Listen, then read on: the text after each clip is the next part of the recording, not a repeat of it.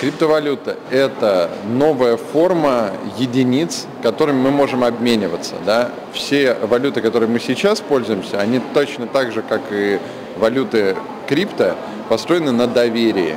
Не централизованный обмен ноликами, единичками, как происходило раньше в банковской системе, а это обмен в децентрализованной системе. Развитие технологий криптовалют и блокчейна обсудили на форуме Blockchain Meetup, который состоялся в IT-парке 30 июня. По словам специалистов, блокчейн-технологии предоставляют формы, где есть абсолютное доверие. То есть, когда вы передаете из одного кошелька на другой биткоины, они никуда не могут потеряться, никто не может подделать эту сделку, никто не может ее вернуть. Также одним из плюсов является предельно низкая стоимость переводов.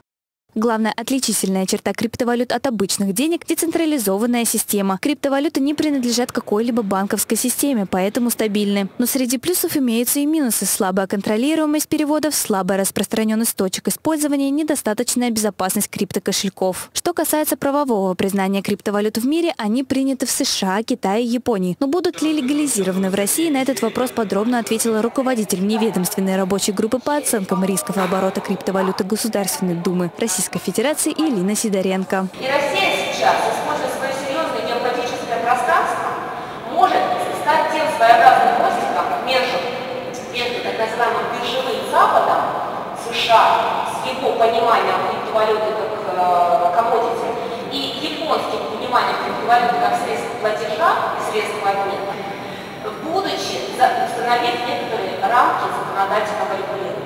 Элина Сидоренко также сообщила, что законопроект планируется внести в Госдуму в октябре этого года. Любопытно, что по словам руководителя рабочей группы, проект закона не предполагает введение налогов в ближайшее время. Елизавета Евтефеева, Ленар Давлетьяров, Univer News.